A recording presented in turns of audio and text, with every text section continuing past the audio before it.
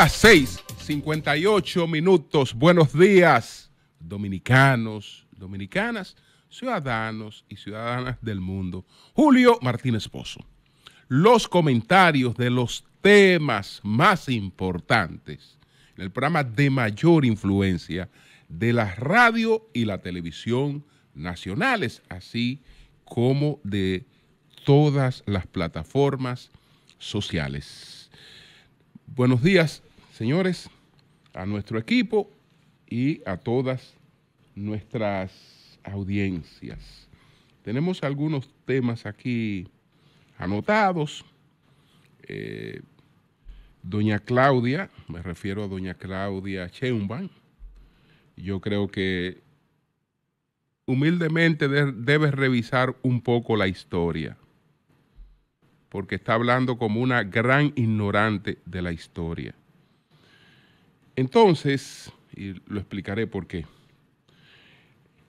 Entonces, este llamado a ella, eh, ¿cuál es la realidad del contrato de seguridad con la empresa esta que se llama Auritz? ¿Por qué los candidatos en Estados Unidos obvian la deslocalización de los empleos? Eh, ¿Qué hacer con las vacancias en la alcaldía de La Vega? Y bueno, yo creo que eh, no se discute la pertinencia de un reajuste fiscal. Eh, tal vez no podamos desarrollar algunos de estos temas por razones de tiempo, pero bueno, vamos, vamos para adelante. Eh, ayer, anoche, participé en la puesta en circulación y en el inicio también de la emisión de una serie especial de programas televisivos que llevan por título Reservas de la Crónica Deportiva Dominicana.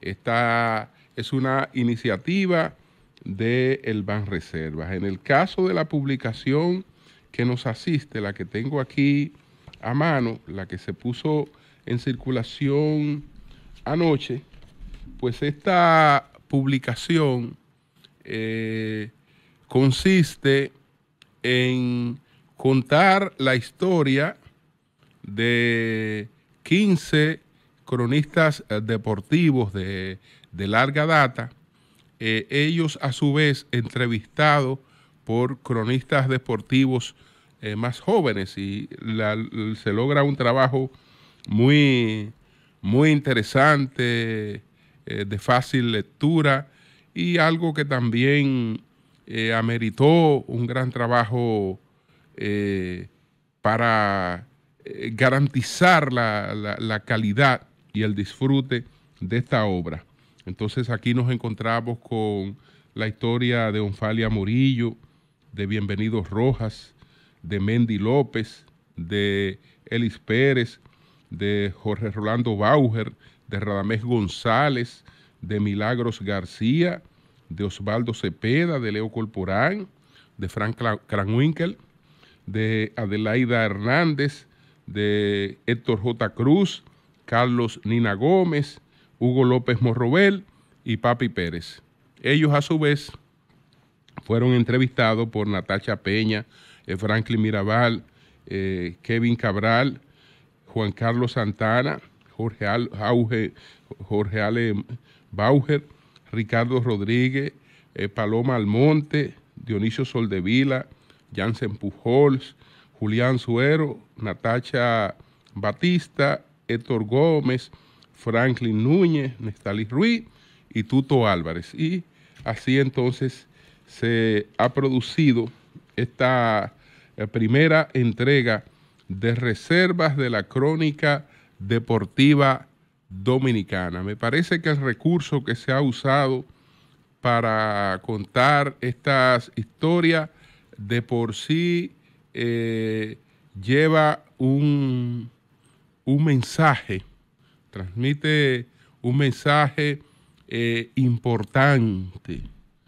eh, porque esta es una especie de la crónica de homenaje de la crónica deportiva más joven a la crónica deportiva más antigua. Lo que tiene hoy el árbol de Florido vive de lo que ese árbol tiene de sepultado, es decir, de sus, de sus raíces. Y eh, tomar eso en cuenta siempre, lo único que hace es que engrandece. Así es que eh, saludamos esta, esta publicación del Banco de Reservas de la República Dominicana, que ayer su presidente, pues eh, Samuel Pereira, estuvo encabezando esta, esta actividad. Entonces, quiero referirme a algo que planteó ayer la presidenta de México, la primera mujer eh, que es presidenta de México, Claudia eh, La señora Cheumban dijo ayer que la grandeza de México se basa en las civilizaciones previas a la conquista. Señores, ese es un soberano disparate. Eso no resiste el menor análisis. Eh, pero eh, esta izquierda en la que ella hunde sus, sus raíces, pues tuvo un mentor intelectual que después eh, admitió que cuando planteó una serie de cosas era en gran medida una analfabeta, por lo menos en términos económicos, que fue Eduardo Galeano, eh, sobre su obra Las Venas Abiertas de América Latina, que ha sido en gran medida eh, la Biblia del socialismo del siglo XXI. Y bueno, ahí eh, una serie de cuestiones de la leyenda negra encuentran su, su reproducción. Yo quiero referir algunos datos que refutan eso que ha planteado la señora Cheumban con relación a, la, a esto de que, bueno, la grandeza de México, que incluso yo no sé en estos momentos cuál grandeza es la que México puede exhibir, que esa grandeza se debe a las civilizaciones eh, anteriores a la conquista. Bueno, refería en Nueva York, refería en Nueva York un dato que de manera contundente dice si ella tenía o no tenía razón. ¿Cuál fue ese dato? ¿Con quiénes, con quiénes se apareció don Hernán Cortés a conquistar el imperio azteca? ¿Quiénes acompañaban a Hernán Cortés el día que él apresó a Moctezuma? ¿Quiénes los acompañaban?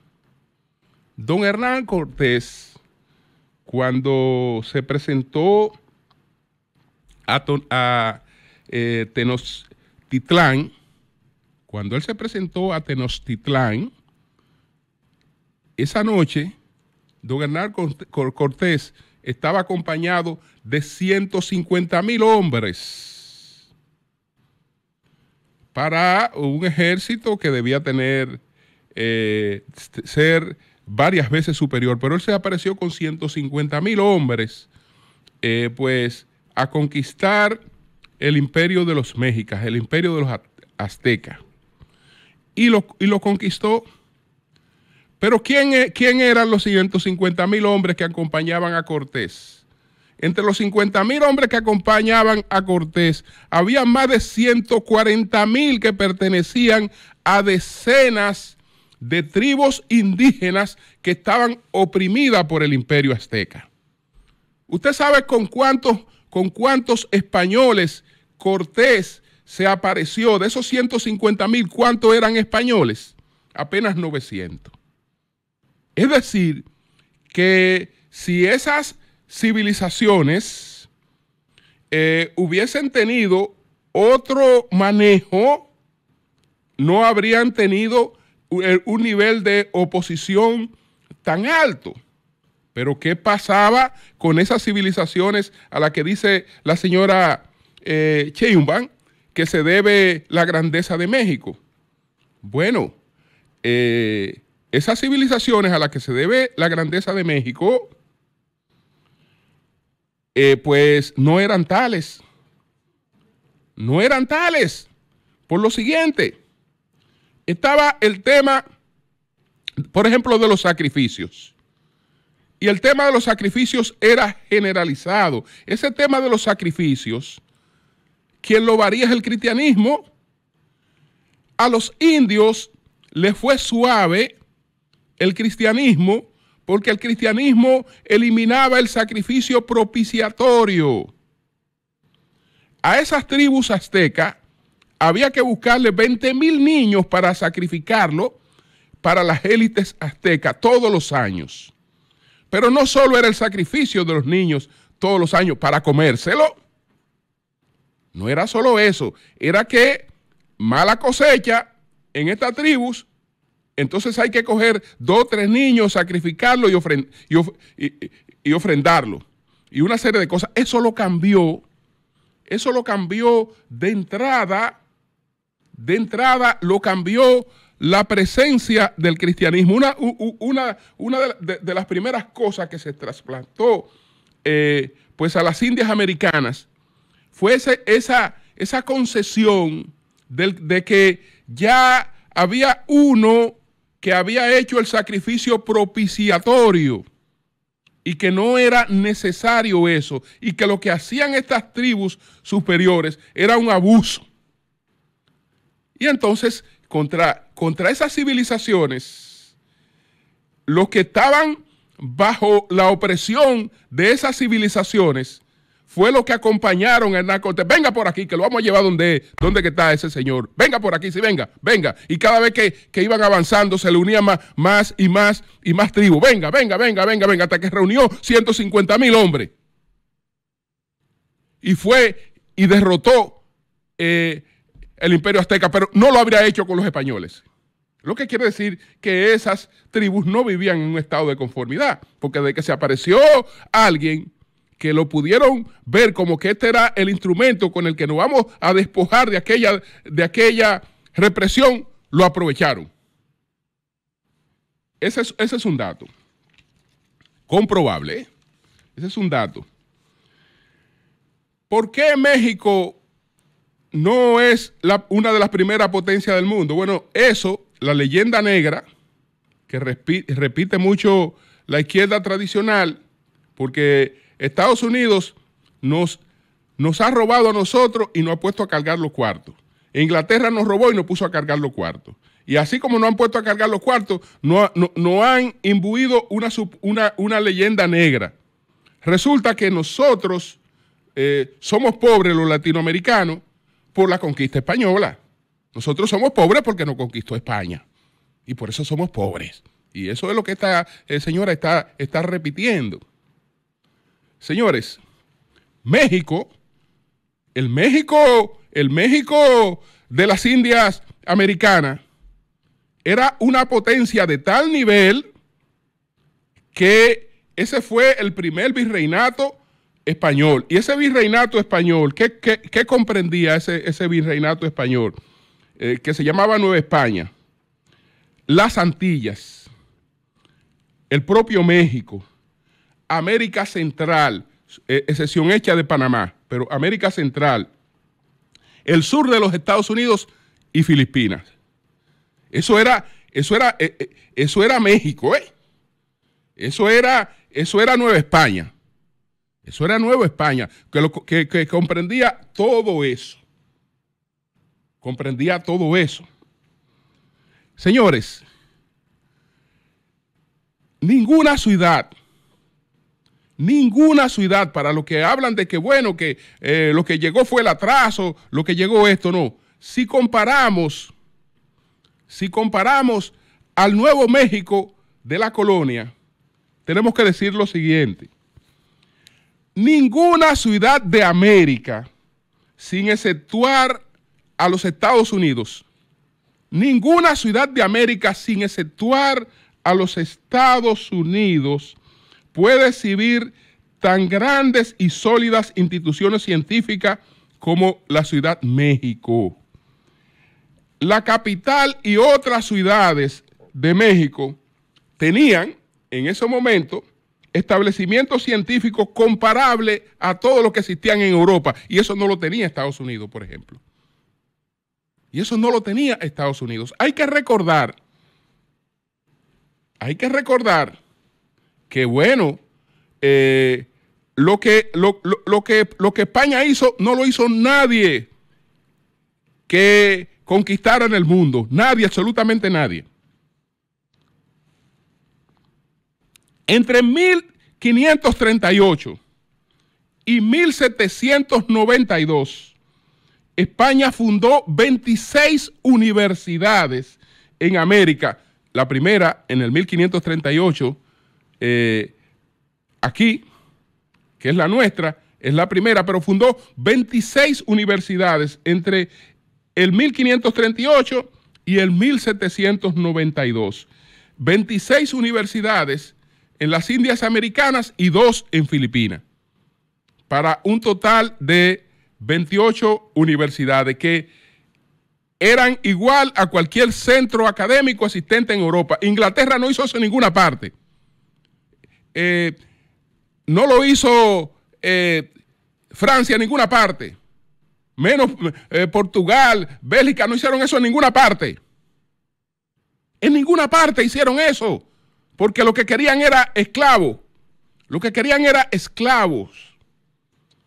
España, con todo su defecto, lo que buscó fue reproducirse.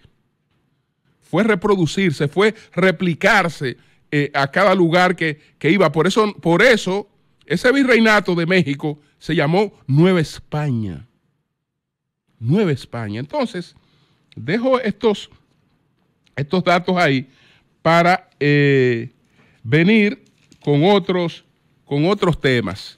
Pero pobre México, pobre México, señores, eh, desde, el, desde el porfiriato, desde el porfiriato, México no ha encontrado la posibilidad de su desarrollo.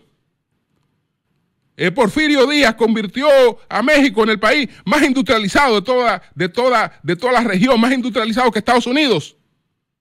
Y sin embargo, todo eso, todo eso quedó atrás. Nosotros nos llamamos América Latina por, por México y por, y, por el, y por el proyecto que se articuló a partir de México, pero ya no era un proyecto español, sino el proyecto que se le metió en la cabeza a Napoleón III. Y Napoleón III fue que concibió crear el imperio de los pueblos latinos de América con su sede en México. Y él fue que designó entonces al emperador eh, Maximiliano, que terminó muerto, eh, mal muerto en, México. Y con él eh, fracasó ese intento de lo que crear este, este imperio latinoamericano. Después solo se nos quedó el nombre de América Latina. Pero fíjense que toda esa, que todo esa, que todo eso, toda esa grandeza eh, que, que, pudo haber hecho de México una de las primeras potencias mundiales. México tenía mucho más potencial que Estados Unidos, desde luego. Hay que recordar siempre que Estados Unidos le robó el 55% de su territorio. El 55% de su territorio. Del que del, territorio que le legó España, Estados Unidos le robó el 55% de su territorio. El 55%.